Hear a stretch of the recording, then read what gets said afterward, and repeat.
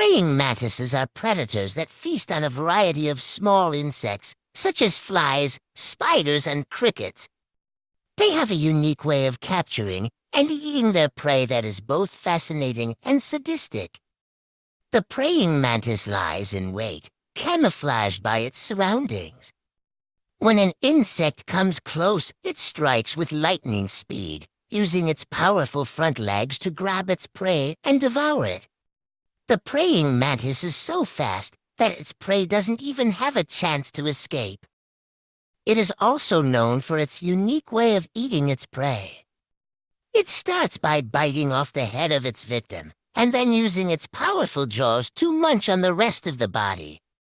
Praying mantises can also eat prey that is much larger than themselves. They can eat small snakes, frogs, lizards, and even hummingbirds.